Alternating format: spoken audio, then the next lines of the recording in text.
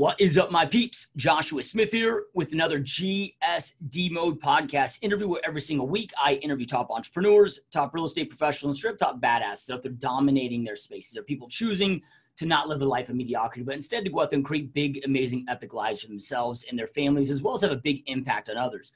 And today, you guys, we've got another amazing rock star guest on the show.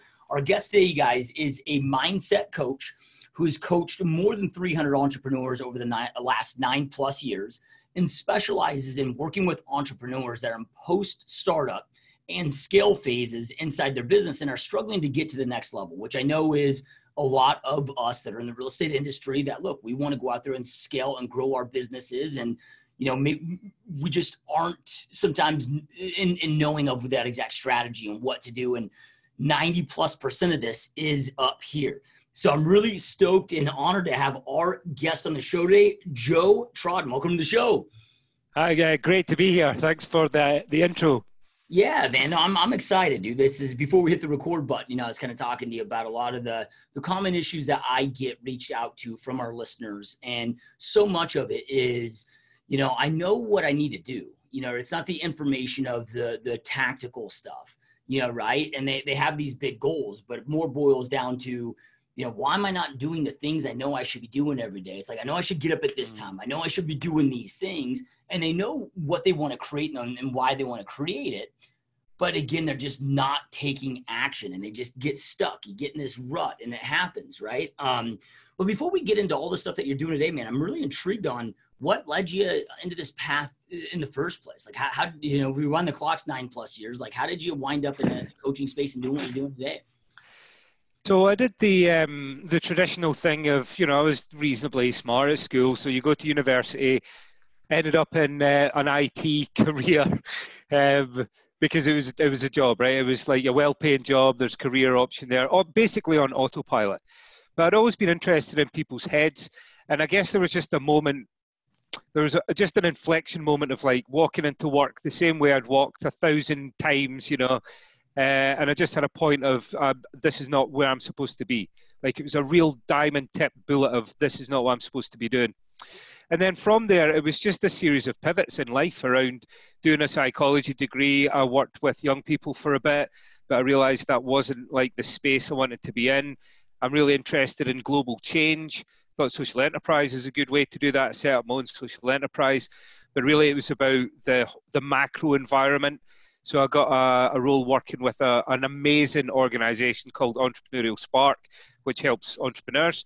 And then from there, you know, I've always just been pulled towards my own vision. And you're probably your listeners a bit like that as well, that they, they could work for somebody else, right? But you just get pulled. The, the pull is so strong to go and live the, the life that you want to live. So you make that leap. So when you look back on it, it looks it looks very purposeful in reverse. But really, it was let's do the next thing. Mm, this is right and this is not right, and uh, it was just been pivots all the way towards where I'm at the moment. And now I'm in a place where I am working with people's heads, um, and I'm working with guys that are doing stuff like and creating impact every day, which is uh, unbelievably exciting for me. So uh, that's basically how I've ended up where I was. It's not entirely by design, but the critical thing was taking action. Take the action, reflect. What's right about this? What isn't right? Make the next move. Make the next move until you find that niche.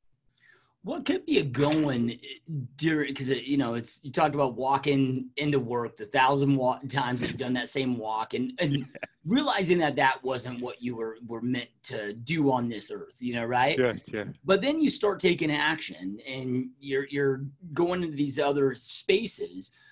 But what kept pushing you, I guess, to to you know, because I'm guessing all that happened over a lot of years, you know, right? And a lot of people sure. at some point you're just like, well, shit, man, maybe I just not somebody that loves work or you know a lot of people at some point just quit. Like what kept you going to to find that thing that truly pulled you? It's purpose man. You know like it, it was when i was doing the it job i was doing that to make money to live my life. Like there was this very clear separation.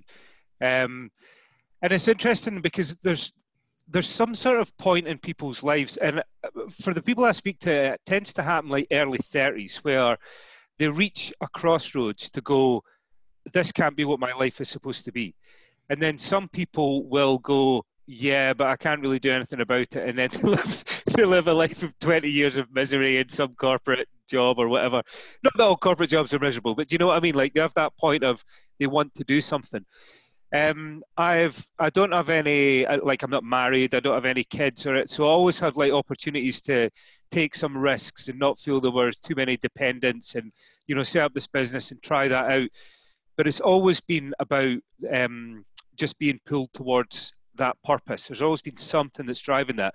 And don't get me wrong, I'm not preaching here like, yeah, man, I was knocking out the park every waking moment, because I wasn't. There were times where I was in those roles and still not being very purposeful. But every time it just seemed to build up and build up to that inflection point of, I've got to make another move, I've got to make another move. But purpose, the fact that I'm, I'm here, I'm on this earth to do something and to leave an impact um, and that's what's driven all of it. You know. So then, you know, because the, the, word purpose or, you know, finding your why, you know, sure. it seems like it's kind of like 50 50. Like 50% of people out there, like it clicks and, and it's powerful for them. But then there's the other 50% that I see that it almost like screws them up worse, where they're, they self sabotage themselves because they can't get clarity on their purpose and their why.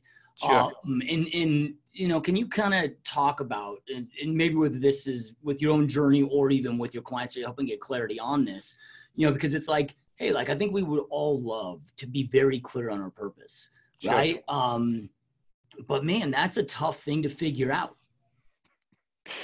Yeah, it's a tough thing. I think what what can feel overwhelming about that is um, I don't know. There, there's like there's there's a, a, a fakeness at times around people that that have that, and then um, I don't know. Like it, it, it can feel a little artificial and distant to to um, some people. I think like my honest answer around that is, like I say, it was always these little pivots. It was like there's something not quite right. What is right about the situation and what isn't? You know, and just making the next move. There can be a lot of pressure on this is definitely going to be my big why and this this huge impact and this purpose that I'm going to create. And then it can feel overwhelming, so you don't take the first step. Or it can feel like you, the first step is a misstep, and then you beat yourself up too much about it. It's really just thinking about what I call milestone one. You know, the big, the big why, the big vision. It's the same the entrepreneurs that I work with. There can be like a big pressure on them to go. As soon as you're an entrepreneur, you're supposed to have this mega global hyper company you know, that's this global dominating force. And it's just not the case. Like it might get to that, but what's the furthest thing you can see? Take that as a, a sense of direction. Now that could be three months. Do you know it could be one month? It's just about going, what's that, what's that one change or that one thing that I want to explore? If people don't know what their why is, then just be a bit curious about it. Be curious, and it's okay if you don't get it right the first time. Um, rather than being like overwhelmed and I've got to pick that thing and then you know every every waking moment's got to be driven towards that. Sometimes it's just make the little change. Go to a class. Open your mind up a little bit. Yeah it almost sounds like the you, the purpose today may be to hey hopefully find your purpose. Yeah spot on man. Do you know and and you people do know themselves. What what is amazing i'm not a, a religious person but there's something going on that is like this bigger force that there's no coincidence that people on earth all have these different interests right? You know the people that are totally lit up by whatever that thing is whether that's you know you know running a bobsled or creating the world's greatest cup of coffee or like whatever that thing is we've all got those little interests and it is just about exploring them you know um, so yeah, what what do you love? There's there's a great thing uh, in Japanese called ikigai, uh, and your listeners could like look that up as a tool, and it just prompts you, gets you thinking, asks you some questions. You don't have to find that final that final answer. You can ask just answer some of those questions, the ones that are, you're not being asked. You know, nobody's asking you those questions if you're in that corporate job or when I'm in my IT job about what do you really want to be doing, what does the world need, what can you get paid for you know, like it's just opening yourself up to exploring those things a little bit more. Yep. Love it, man. Love it. Um, then, um, you know, when it, when it comes to, well, it, eh, let me kind of take a step back too, is and just from my own personal, I guess, journey of, of being an entrepreneur now for about 15 years, you know, it, it's it's my purpose has changed so many times, right? Sure. Like in the beginning, it was like I was just sick and tired of being broke. I wanted to work for myself, not somebody else, and I wanted to create more opportunities. I didn't know what those sure. would be, but I just wanted more money, and that drove me for a long time. And then got to the point where, you know, that no longer did it for me. Then it was you know, build a big business, you know, right? And then it was like now today, 15 years into it, it's like now it's just like, man, I just I just want to live every day with just excitement, just to just to love each and every day and each moment with it. And hopefully I impact a few people along the way. You know, right? I mean it's yeah. it's almost like diminished, you know, right? But so what would you say to people though? Because that are different life phases, you know, right? Like when I yeah. got in entrepreneurship, I wasn't married, didn't have kids, and then I did sure. slightly changed things. And so we do have to have awareness of some of these shifts, and because sometimes we think we want something, we arrive there and like, ah, maybe this isn't it. Yeah, yeah, for, for sure. And like those those shifts, that's why I'm saying about you know that big end goal. Life is a series of chapters you know and some chapters are about like let's let's step back and just take time for myself and you know whatever it is that, that you want to go and explore i think that the key thing is just being purposeful you know and knowing about that it's like with my entrepreneurs as well. If they are, there are times where they have to, and you'll experience, you'll have definitely experienced this as well. About there are times where you have to run in the red zone, you know, and like really be close to that burn all the time. But you can't live your entire life in that place because it's not. It doesn't make you're not more effective living there all the time. You know, the, the perpetual hustle vibe isn't really something that I subscribe to. There are times where you need to turn that dial up but there are times where you need to pull away from that as well and just actually think what is important to me what is it that i actually want like i don't i um, well, i don't really even consider myself an entrepreneur i'm not trying to build an enormous company because it, that doesn't give me the buzz i like to work with loads of different people um, explore different ways of you know the human mind working understand where i can add that value so it is that series of chapters like you said and it's just about what's important to you at at each point. The key thing is about asking yourself, like, am I being purposeful? You know, am I am I the hero of this story at the moment, or am I just like you know, am I cast member B in somebody else's story? That's like the critical thing for me. Yeah, love it. So you mentioned something though earlier about the pull and being pulled right and and there's like this big difference between push and pull right it's like mm. push is kind of the motivation that you know, pushes you maybe to get started, but that doesn't last. And, and the pull is maybe like the deep conviction, you know, right? We're no longer you need the push. Um, you know, but it, it can be tough to identify that pull. And, you know, I think unless we do have that awareness and we're slowing down and paying attention to it, right? It's hard to know if something's pulling you. So what what kind of advice or recommendation would you give for those to find that pull, right? So it's not just you know, motivational book after motivational book where they're just forcing themselves to grind. And, and you said the hustle mentality, which is what so many entrepreneurs fall into, which is that hardcore push, you know, at least for, for a lot of them. You know, what, what kind of recommendations would you give to, to be able to identify the pull versus the push? So I have to say, look, for, for my guys, it's the having that that space to really consider some of those questions. You know like take yourself away put yourself in a totally like new environment whatever that is for you. I mean for me it's always in, in nature you know like take yourself away from everything that's going on. Give yourself actual space to explore it. Just is, is the reflection piece a tool like ikigai will help. Something like even as a basic as a, a myers-briggs test will help you to understand more about like how you think so if people aren't familiar with that, it's, it's a personality test. You can take it free online um, at 16personalities.com. But it just introduces you to reflect on your strengths and how you think, because often we take those things for granted. We can think like, oh, what actual, you know, what value do I have? Because we're so focused on our weaknesses and they're so apparent to us that we overlook these natural abilities that we've got, these traits that we can use, that we can double down on. Um, and I, it's a hard one for me because I'm so I'm so intrinsically motivated by my own flying my own flag. You know, there's there's people that want to get behind somebody else's mission and think about how they can contribute to that. And not everybody should be an entrepreneur. or like a, a freelancer or work alone because it adds a lot of pressure um, that some people they're just not you know it's, it's not going to be right for them they won't enjoy it but it's getting that space the thing is man i believe everybody if they just take that time and look inside and go and explore and be curious will find it. If i was to even offer that option between hey do you want to go and play a game of sports or do you want to go and do a cookery class? You know there's probably going to be a an immediate reaction to one of those right? So it's just about thinking what are those options? People people know what it is that's inside them that they want to do. I don't think that's the issue. I think the issue is more about giving yourself permission to explore it and be wrong, to go and take that class. And do you know what? It sucked. But here's what was nice about that. So, how do I take that and go and do the next thing? I think it's just taking that permission to take the first step and that you can be wrong about that. Yeah, I was reading this morning and there's a quote in there about something of, you know, before you before you start climbing the mountain you know take some time to reflect to make sure that that is the mountain you want to be climbing. Because you can spend 20 years taking steps to climb the mountain for only a few seconds of a view once you're at the top. Like making sure, sure it's the right mountain. And, and it sounds to me like from what you're saying is, is similar to that analogy of exploring those options to make sure that this is truly what you want to do you know right? but, but equally going that if you get 15 feet up that mountain and you go, do you know what? This isn't the right mountain. To just go and find the next one.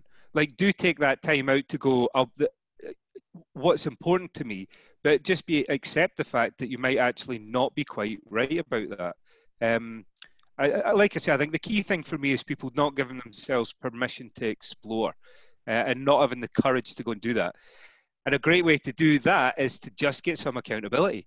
You know, anybody who's in that position, because this is not really my key demographic, but anybody who's in that position, they do, if, if they reflect, they can take that first step. The thing that stops them doing it is, you know, what if I'm wrong or I look stupid or blah, blah, right?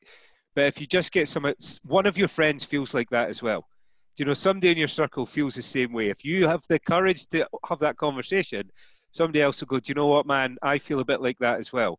And you just hold each other accountable for taking the first step not the big life plan. What's the first step you're going to take that week? And the, the accountability will get you over the line.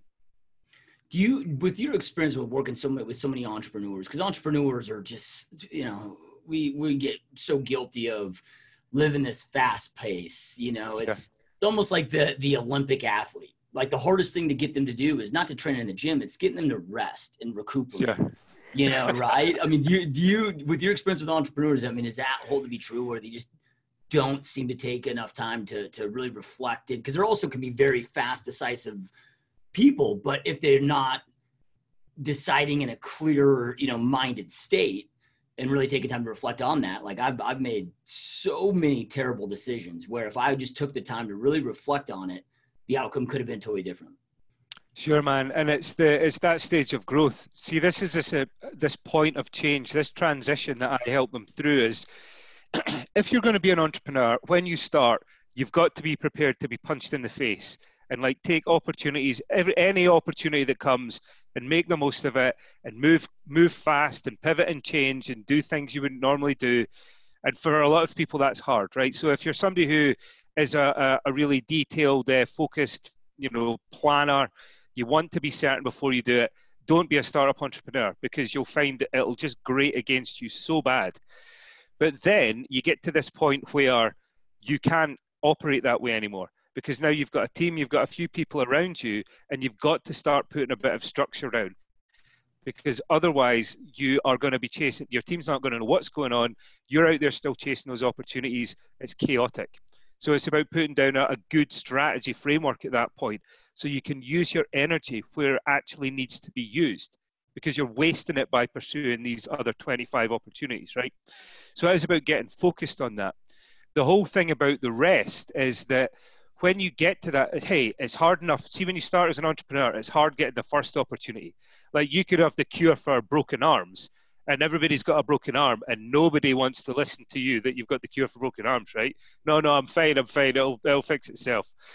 But when you actually start to get the, the traction point, the challenge then is saying no to stuff and letting fires actually burn. So your to do list will never, ever end. And the further down that line, at that traction point, every opportunity looks great and everything's hard to let go. So, in order to not destroy yourself with the hustle and the burnout, it's knowing what do you have to, what do you just say no to, and where do you give yourself that extra bit of time for reflection, recuperation, personal development.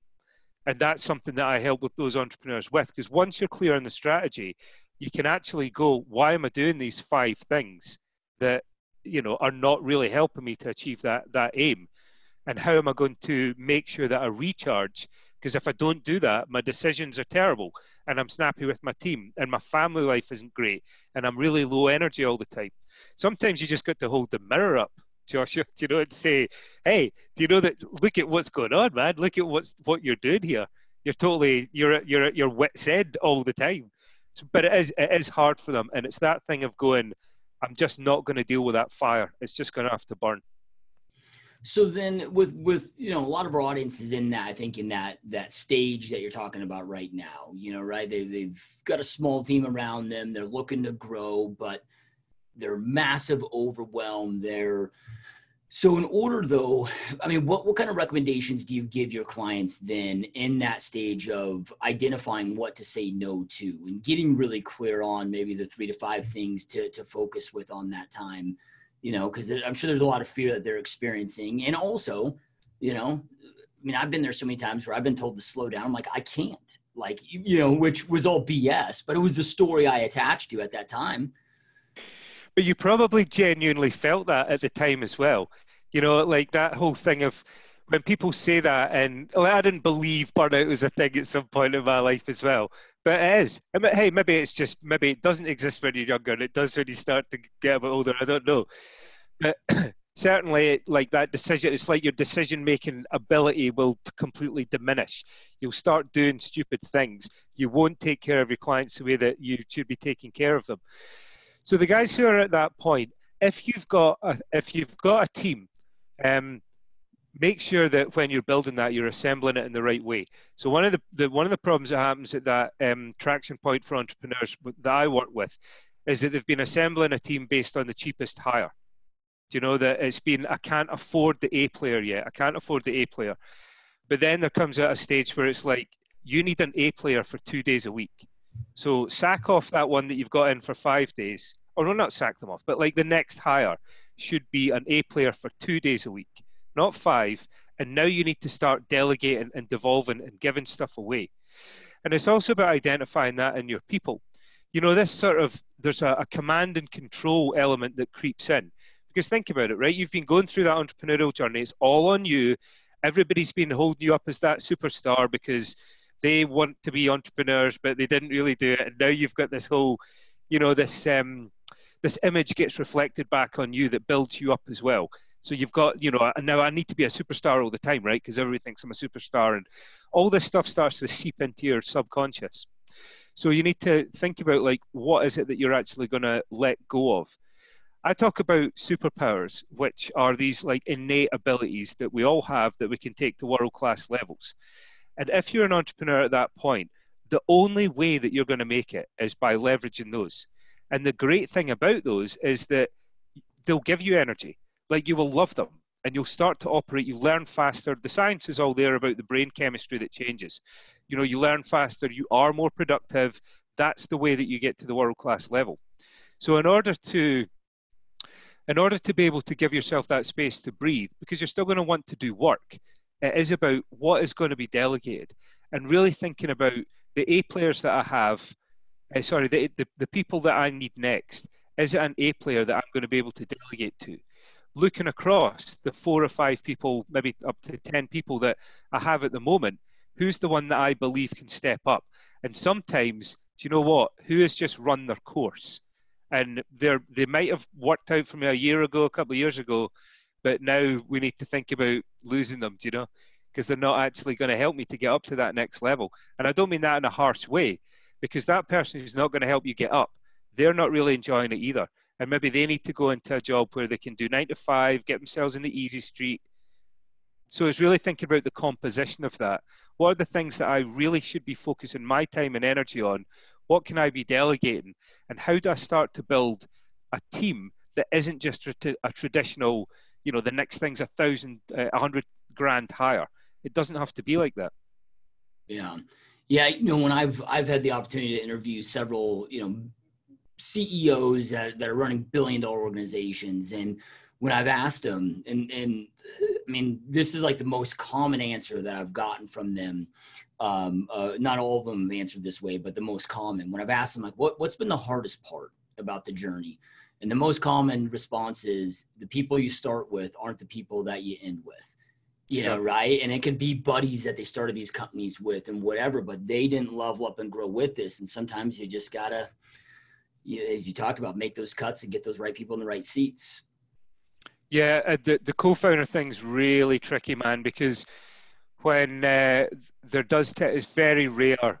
It's I have to say it's a bit of an exceptional case, really, where that alignment goes right the way through the kind of stages that I'm taking them through because that early stage of like this is all fun and people feel that they've got um, they've got this real identity in like a two-person co-found startup thing, but then you need the guy.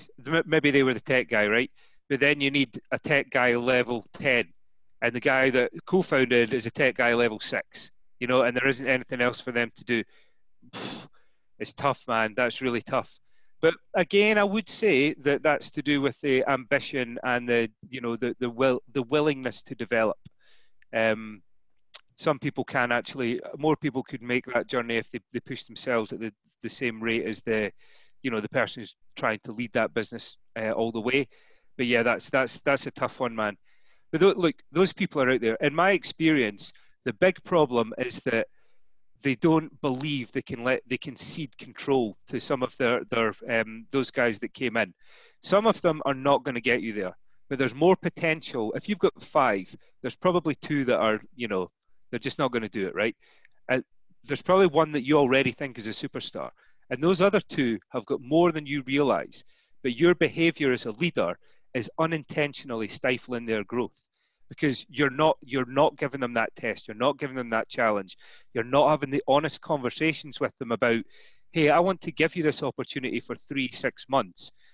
You know and if you can step up then let's do it. And if you can't i'll have to get somebody else but i want to give you this opportunity. And to frame that in a way that's not like um, you know you're on the hook here and if you don't step up in the next three months you know i'm going to destroy your life or you're going to be like this total failure it's that honest conversation about you. I see something in you. Let's uh, let's test that over three six months. That that doesn't happen enough at that inflection point. Yeah, yeah. I'd say the, the probably the hardest part of my entrepreneur journey is is coming to the conclusion and understanding of you know because when we first start we're solopreneurs so we're doing everything and typically like in real estate okay i was a great realtor but then it became a thing where it didn't matter about how good of a realtor it w- I was. It was about how good of a leader I was. Sure, and it took sure. a long time, but I realized, man, I'm a shitty leader, you know, right? Um, and I, I mean, if I reflect back on it, I let go of so many good people and I failed them as a leader. Now they weren't getting the results I wanted at that point, but later years down the road, I realized I didn't give them the leadership that they needed to grow. So in that point, if if uh, an entrepreneur that's listening to this maybe has somebody that they're thinking, ah, man, I don't know if they're an A player or B player, you know, right? At what point do you have them take responsibility first as a leader to see how, you know, like what am I doing wrong as a leader to allow this person to grow and develop? And then how much time should we give that before then we can put them in those tests that you talked about? So I mean, look, it's it's a hard one to just go. Here is exactly you know the the time that you would do that because you have to go on that case by case. But getting people to self-identify about where do you think you are on this journey, you know, like just have the it's the it's the authentic, the authentic, honest conversation about. So you're sitting there with that person going, where do you want to get to? Like, what is the potential that you've got? How do we change this environment? That really it's really up in your listening skills. There's something called deep listening. I can't remember who the, the, I can't remember the author's name off the top of my head, but it's a really short ebook about like actually being present and listening to what's going on. As a leader, um, and certainly in the entrepreneurial world, they tend to be problem solvers, right? So the problem is then all on you. It's all on you to solve. if you want your people to take that ownership, it's the honest conversation to say, look, you know, what do you see as the potential in this business? What's the next step that you could do? Where do you want to use more of, of what you've got? I just don't think they have that. I think that there's a, a, response, almost like a, a patriarchal responsibility, you know, to take care of those people and I'll shape your destiny for you. And it's all down to me to identify and pull everything out. There's a really good um, model called The Alliance by Reid Hoffman, uh, who was the founder of LinkedIn. And he talks about the in Silicon Valley where it wasn't about it was really hard to maintain to keep the talent right? Because it wasn't about money. Everybody was offering the same kind of money. It wasn't the fact you had a table tennis you know and, and whatever bean bags all over the place and you know swedish massage going on right? Because everybody had that. What made the difference in attracting and re- retaining this talent was that when you come and work for us we're not a family and we're not a big group of friends what we are as allies. You know, we and this is why the strategy and the mission and all that are so important. We're aligned to try and get to here. Here's the skills and the abilities that we're going to need to reach our next milestone. Where do you feel that you can step up and into one of those positions? Because I, I want to help you to do that if that's what you want to do. That's a really different conversation to I'm going to work out what the project is for for Dave in my shed, and then I'm going to take it to him and lay it on him. It's this whole cultural reframe about how you're actually approaching that. That's why all these things fit into each other. You need to know that strategy and have the clarity there so you can talk intelligently to your people. So you're not just they're not just coming and going, What the hell is this business today? Right? because we're, we're taking some other opportunity. So it's about having the clarity there. It's about the clarity in your own head about here is where I'm really strong. Here is where I'm being honest with myself about what I'm where my weaknesses are and what I might be doing wrong and building that trust into your people. Some people are going to let you down, but there's a lot more of them that won't if you set that right, if you set the culture up right to do that in the relationship. And it's about being authentic. You are still the leader, but you are having much more authentic, deep listening conversations with them and setting up things like the alliance agreement to encourage them to take ownership. Now, before you have those conversations, because I can honestly say that I've never had those type of conversations, you know, right? Which I need to be, you know, right? It, it, as you say that, it all just clicks and it makes sense. Um, but the, the question that comes up to my mind, though, is do I need to have the answers before when I'm asking those deep level questions like that, the deep listening questions, as you mentioned, like, you know, when I'm asking, you know, the questions that you just framed, but it's, do I need to know, hey, what would the right person in this position, how would they respond to that? Do I need to have clarity on those before I enter those conversations? No, I think there's there's a key thing that goes on right when you're asking when you're getting engagement from your people around the the what and the how. So what I mean by that is there are times where you go to your team and you say we've got this problem and I don't know like what the answer is. So let's collectively try and find out what the answer to that problem is. Maybe there's a new market you're going into, maybe it's a, a different way of doing customer retention or, or whatever that thing is, right? So uh, there's a problem here. I don't know what the answer is. And the how is where you go to them and say, here is what I want us to do. You know, here is what that customer retention thing looks like. This is the, the vision. This is what good looks like. how are we going to do that? Now, they're very, very different questions because if you go in with the, I know what the answer is. Sometimes what I see is, oh, I want to get my people engaged, but I already know the answer I want them to give me. That's just, that's an absolute disaster. You're just setting yourself up to fail there. The only time you should be, if you're being an authentic leader, the only time you should ask someone's opinion is if you actually care about it, not if it's, this is the answer.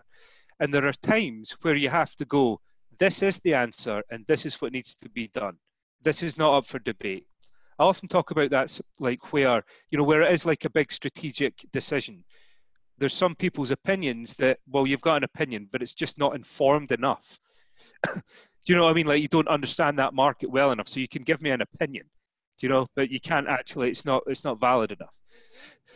Excuse me. But if you are, if you're going to them, you've got to care what their opinion is. So what if we take that example I was talking about with the people is to say, here's strategically what it is that we're trying to achieve. This is the goal. I'd like you to step into it. Tell me how you would go about doing that. Because it might well be different to the way you're thinking. This is the whole point of having a team, right? Again, I'm, I'm such a guy for like books and frameworks, right? But there's a guy, Matthew Syed, who talks about cognitive diversity.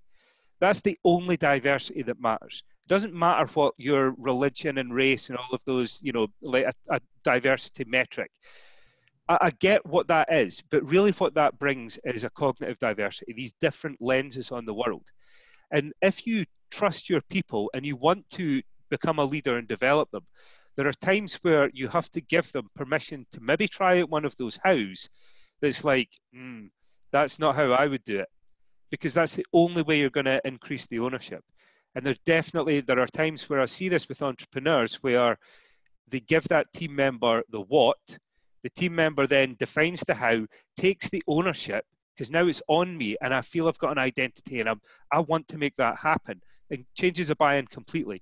But just you've got to let them do it their own way. So you need to think then about how much rope do I give them?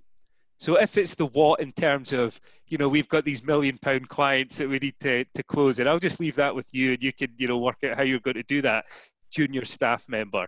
We're not talking about that, right? We're talking about here is something, a, a time frame that comes in much smaller, smaller goal. Okay, junior staff member, here's something I want you to take ownership of and explore. So it's a bit of a, it's a bit of a sliding scale and I've, I've rambled a, a, little bit there, Joshua. Sorry, but it's that it's that key distinction between the what and the how.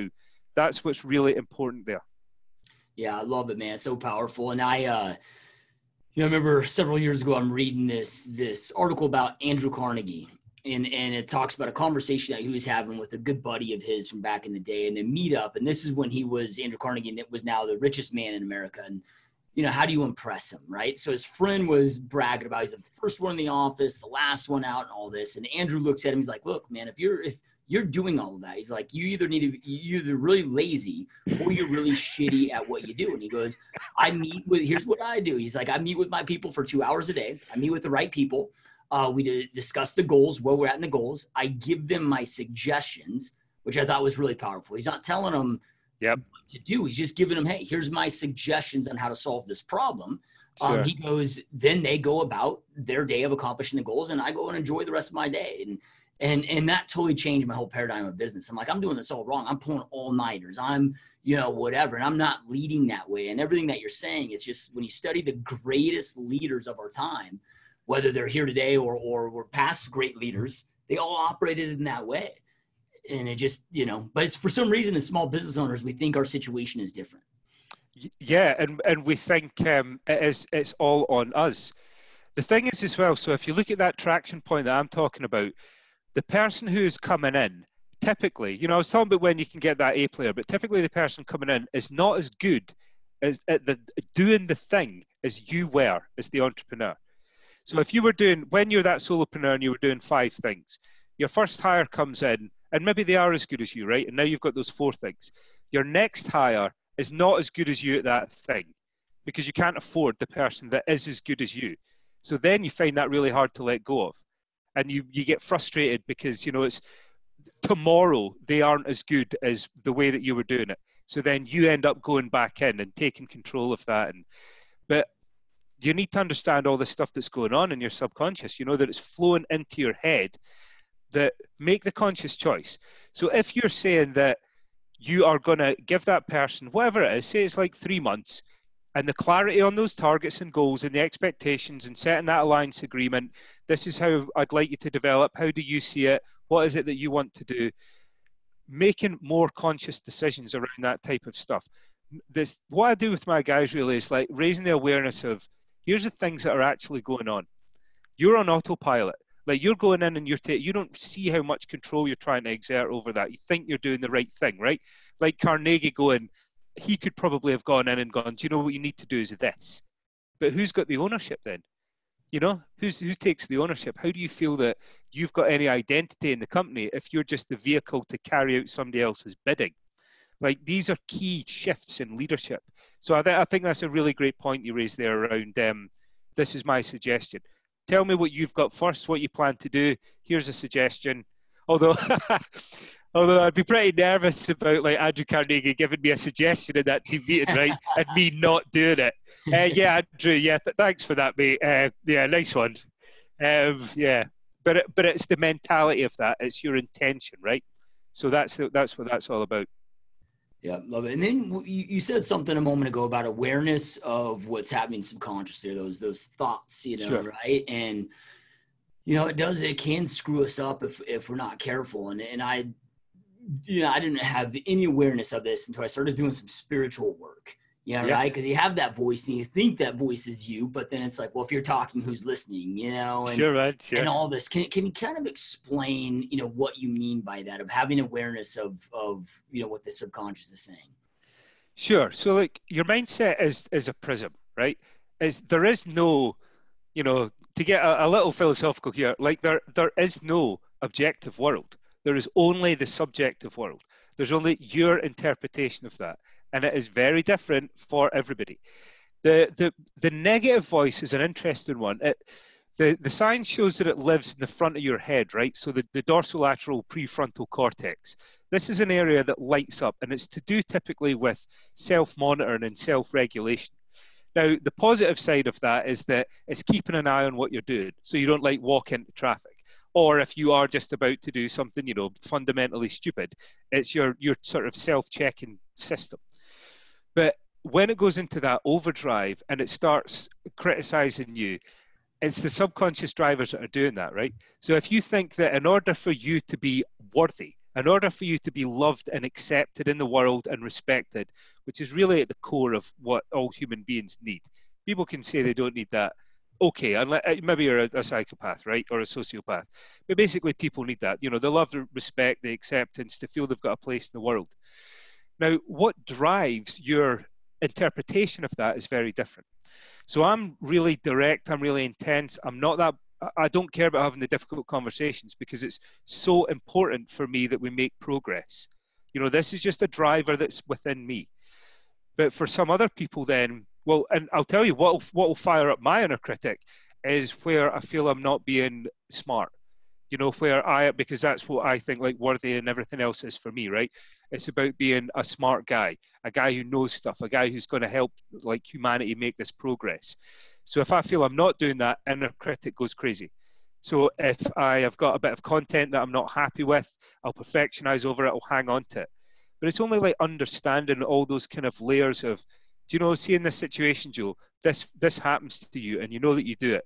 What's a control mechanism for that? So sometimes for me, that's like making sure I've got a tight deadline, making sure when that is flaring up that I have that conversation with somebody. For other people, their subconscious, that self identity is based on being a really nice person because they have this massively strong empathy with people you know the people that are those amazing networkers that can remember everybody's name and their kids' birthdays and all that. I can barely remember your name, right? I'll be the guy that remembers what it is that you do and is it going to advance humanity's cause. I don't remember Nikki's little Nikki's birthday, right? Or that she was in some nativity play.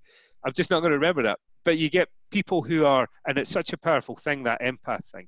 But then that starts to shape what their version of worthy is. So when they feel they're crossing the line or they are they might potentially upset somebody, bang, that inner critic comes on as well. And the the whole thing about we talked about sort of the progression and people leveling up, that imposter thing, I'm going to lose respect, you know. So I'm going to try and step up. I'm going to make a mistake. Bang, that dorsolateral prefrontal cortex inner critic kicks in, and it'll say, no, no, don't do that. Oh no, we need we want to be safe. It's trying to keep you safe all the time what is interesting about that, and I'll stop talking in a second. What is interesting about that is that when you use your superpowers, so when you're in this flow state, when you're using your key abilities, that area shuts down. This is why when you're doing something that you feel totally connected to in the moment, you don't get that voice of doubt. So when I'm in a strategy session, because I love strategy, right? I'm a big picture relationships thing when I'm in that strategy session, there is no second guessing of myself. Yes, I'm thinking about what's the best way to do it, but there's nothing going, no, this is not right, Joe. You need to stop doing this. You need to back down. And that's not happening because that part of your brain shuts down. It's, it's like your brain saying, see if you do the things that you love and you're amazing at, I'll help you out. You know, I'll give you the, the chemicals that you need. I'll shut down the bits that are unhelpful. This is why it's so important for these entrepreneurial leaders, well, for everybody, man, but you know, for entrepreneurial leaders to understand where that flow is and to build those people around them. Because everybody, I've never met anyone who doesn't have that voice of doubt. It was a nice thing actually when um, that was introduced to me, and then I've started to look at it, and I know it's a biological thing, and it doesn't mean that I'm crazy because everybody's got it, and it's evolutionary. It's there for the right reasons, but it's how you dialogue effectively with it and how you how you do the things that are aligned with your flow because then it doesn't impact you as much would you say that that is also a good tool to help you identify your flow state and, and where you're in flow and your strengths is when that like what is like just somehow noting and taking note of the work that you're doing where that inner voice isn't just going a million miles an hour yeah. like if you look at it i mean people people can look up um, flow state because it you know it's like anything, man. It just depends how deep people want to go into it, right? But if you look at three core components in terms of energy, focus, and time distortion. So if you if people are to look back over that last couple of weeks or month or whatever, I mean, really, it should be you know a day. You should be doing sound and flow in a day, right? But week or month, and go. When am I actually energized? When do I feel completely focused on that moment? So much so that the rest of the world just disappears. Now, I talked about those empath people before. You know, those guys who are at the that networking event, and I don't know if this is I don't know if this is you or not, right? But you, you'll have seen people like this. They are so engaged in that conversation that that is that's their world. You know, for that five or six minutes, they're paying you so much attention, so much focus. I don't have that because when I'm in conversation, I tend to be thinking about, you know, how how are we at because I'm so functional. Like, how do we help each other? What? How does this? You know, how's this dynamic going to work? Is this a good use of your time and my time? Not not for for this type of thing. I mean, like you know, when you're doing that kind of sussing people out at a networking event, my sus factor's on high. Not because I think that you know I'm some guy. Oh, you know, I'm only going to talk to you if you're really useful to my life. I'm thinking about it as a, a two-way thing, but they are totally in that moment. It's total focus on it. I get it in a strategy session. You know, when when do you feel that? When do you feel like focused, energized, and that time distorts? When does it happen for you? Um, building systems. Like I love developing back end systems, automation, or you know, I love strat. Like when you're saying that that conversation, like give me a marker and a whiteboard. yeah. and and yeah, I mean, eight hours will feel like it's only been 20 minutes. Yeah, yeah. I'm a systems guy. I'm laughing there because I'm a systems guy as well. Like I'm always looking for how what is the system behind this. It's like my program. So my programs are based on looking at your head, not just let's get you know. The problem mindset is sometimes it's confused as being a, a yoga pose on Instagram. You know, with somebody saying, "Hey, go live your best life," right? It's really it's, it annoys me a lot because it feels that it's it's just diluted what mindset is, man. Do You know, like mindset is everything. We are all wired differently. The, the reason that we end up not solving all the world's problems like that, like tomorrow, is because we underappreciate what we've got. We get conditioned as we go through school to be this is what good looks like. You know, that you get these scores and these tests, that you're this amount of cool, you know, and that you've got this jacket or whatever.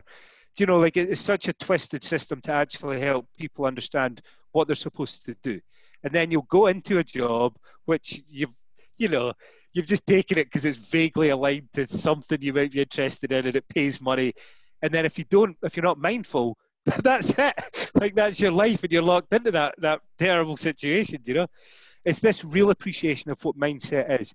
When you talk about that systems thinker you know there must be times where you've been with people that can't believe what you can do. Like they can't believe that you can take th- these sort of different components and put them into something that makes sense or explain back to them like this is what's going on. It's that's such a cool superpower. I mean have you ever had that when you're working with people yeah yeah i mean it's uh, just because i coach a lot as well and and and you know the i didn't know it when i started my entrepreneur journey that this was going to be my superpower either it became solving one of my problems i would have never guessed it would be it but you know, fast forward 14, 15 years later, I mean, it's like to me, heaven is like sitting behind my computer for 14 hours, building out, you know, campaigns and Infusionsoft or whatever it may be, you know, right? Um, yeah, yeah, all, all the time. Yeah, but and it's that to your your point where I see, you know, I have friends and and uh, uh, acquaintances, whatever that are those networkers. Like in the DISC test, I'm an, a ten on the I, so I'm very introverted. Where they right. can just work the room. I've never seen magic like that. Where I'm just like, yeah. how you do that, you know. And and if you're if you're thinking about those, you know, your listeners, and then how they're going to step up and like what their next step is, the key thing, man, is like lean into who you are. That is scary. Um, and if you know, if you're a coach, I, I, don't know, I don't know, like you know, I don't know how expensive your program is or like how that works, but it is about finding yourself a coach. You know, if you're listening to this podcast, you're obviously connected in some way to Joshua, right? So, how are you? How are you going to lean into that? Like, how are you going to get some support to do it and the courage to do it? Because other people, you need to be very mindful of who you're around. It's hard for me to accept that people don't want to find a bit of, you know, we talked about like purpose and this, the semantics around that, right? But this identity and this direction and this meaning and, you know, living living that life, you know, finding out their true identity. When you have that moment, there'll be people around you that will pull you down because they want that too, but they are too afraid to do it and it makes it protects their psyche by some by watching other people not be able to do that or to pull them you know no stay stay in this space because it means i don't have to justify to myself why i'm not doing it so you need to get yourself if you get to that point where you're like i want to level up that whole thing about you're the average of the five people you spend time with is really it's very true but you do you do also tend to need that person as a coach who is just whose sole purpose is to help you to develop that courage to keep going and to take that next step. So fully leaning into your authenticity is the biggest thing that I can say. And again, sometimes that can sound a little bit cliched, and but that's what I've been doing for myself over the last sort of six, really, really most intensely over the last six months. You know, the, all these pivots towards that, um, towards this goal, and then when I, I found my niche, it still took time to really lean into it you know, to really put myself out there and say, this is who I am, this is what I stand for. It is mindset. If you don't buy into mindset, I'm not your guy. If you're not a, an entrepreneur who puts impact above money, and I don't mean like solving the world's hunger problems, I mean like creating an impact on the world, becoming that version of you, not just I don't work with mercenaries. I find them incredibly boring and their ethics are twisted, right? So you have to buy into those things.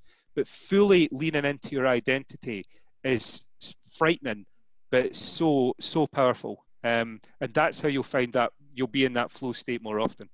Yeah, love it. So yeah, and, and you even talk about my coaching program. You know, it's more of a training program than a than a coaching program, if you will. And it's how to tactically and strategically build a real estate business. So it isn't working on uh, you know the stuff that you just talked about you know right of you know hopefully people that jump into my program know that this is where they want to be and but man when you talk about finding your authentic self because we are so mechanically wired through the domestication of just our lives it's like sometimes i wonder of is any thought i have truly original? You know right? Or is it just based off of the of, of all this conditioning?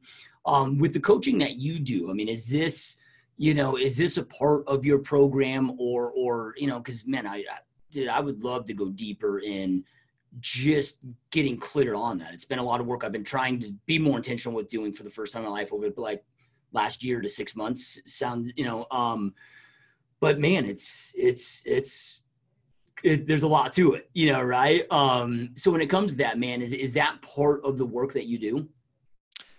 Yeah. So look, I don't. Um, there have been times, not so much with the core clients. When I worked with the entrepreneurial organisation, there were times where something would surface that was like a counselling issue. Was was you know that that relationship that you had, or your your mother dying, or or whatever that was. Like I, I, we've uncovered that, but now you need the person that's actually going to solve that problem for you. You know? But that's the level of the nerve that I want to get to. Because if you look at your subconscious, it's like this tightly coiled wire, and it's so tightly coiled that you are taking loads of stuff for granted. And it's only through the behaviors, it's, it's that this mismatch between this is what I say I want, and this is what I'm actually doing. And it takes a coach to hold that mirror up and then it's the depth of going what is all the thing what are the things that are actually driving you to act in that way and because i because i am so because i'm the systems thinker because i like to drill down and because my clients have given me permission to do that like that's what they're signing up for that we are going to go to that depth it's it's a real eye opener for them at, at times do you know that this and it happens to me. It happens to me as well. Like even so, if you look at uh, my thing, I'd always thought about um, where is where is this sort of this this smart and perfection? Like where the hell has that come from? Because when I was growing up, um, I went to a small school, right? But th- this is basically what comes out of that. I went, I grew up, I went to a small school, and it was quite easy to be top of the class. Like there were twelve people in my class, so I was the smartest in the class, and I liked that. You know, I like that. That then starts to confer that on my identity. My dad was smart. I never felt that love was conditional there, but he was a smart dude. You know, I remember just growing up thinking, like, what a guy. And he could he, he could do in my eyes, the guy could do almost anything, right? Awesome. And love was not conditional on it. But this again puts another layer on. You have to be smart. This is what's going to fire up your inner critic. Like understanding where those drivers are coming from and what they mean for me gives me an awareness where I can start to tackle that and go, that's flaring up. Here's why. This is what I do about it. Okay, bang, I can go and do the next thing and keep pushing through the levels. You're never going to, when you say about, like, am I ever having an original thought or are any of these thoughts actually mine? So it's an interesting question because, like, we are social creatures, right? We do get influenced by what's around us. But then it's about where is it I want to get to and what is it that might be a belief system that is impacting me from doing that? Like, what stops me from sitting at the top table? Even my my position around, I'm not really listening to market demand, right? I'm looking at what is going on out there, like what I see, and having trust in what I've seen and what I've known and the experience that I've built up to go. This is the problem. I want the I want the program for this type of entrepreneur, which is a small niche, who want to do this type of thing, who want to be asked these types of questions, to do that and anybody outside of that, I don't want to work with them. So it's having the confidence to lean into that. Um, and it is about the guys that I'm working with. You have to know yourself at that deeper level, or you won't be able to do that thing. That's my principle. So my guys believe in that too, and that's why you've got to go to that depth. So would you say though, if, if one of our listeners is is listening to this and and like, man, I I'm not there yet where I'm I have that understanding, but I want to be there, and they have an open mind to it. Is that sure. still somebody that would be right for your program?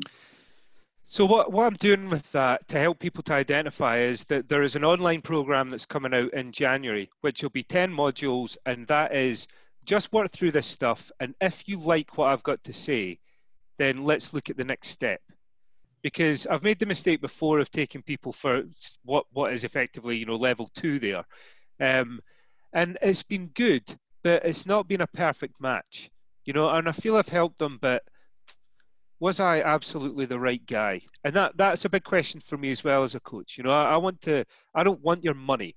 Well, I, well, you know, I want you to pay me with the service, right? But it's it's not about that. Like the the match has to be right because some for some clients when you're coach there are clients that if you were to pay me a million dollars a month i still don't want to work with you because we're not getting anywhere and me taking your money makes me complicit in the lie that you're telling yourself about your progress right?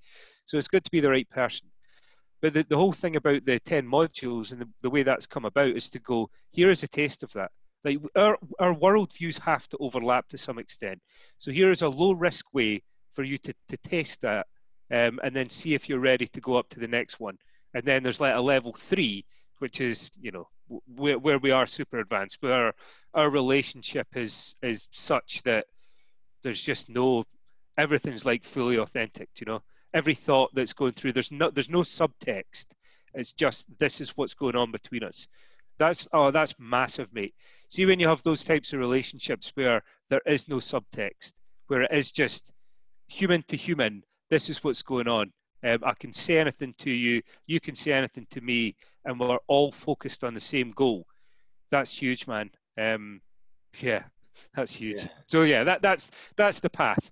Light touch. Do you like this worldview? Let's explore it face to face a bit more, and then okay, let's go all the way. And that's not right for everybody. That's why I've structured it in the way that I have. Yeah, love it, man. So Joe, where, where's the best place if if any whatever level the program is, if they want to learn more about them, if they want to you know check out what's included, or maybe just like I'm ready to jump into the course right now. Like, where's the best place for those uh, to go do that at? So the the online course is going to be released in January. Um, it's something that's being developed at the moment, so they can look at everything on the website effectively, mindsetexperts.co.uk.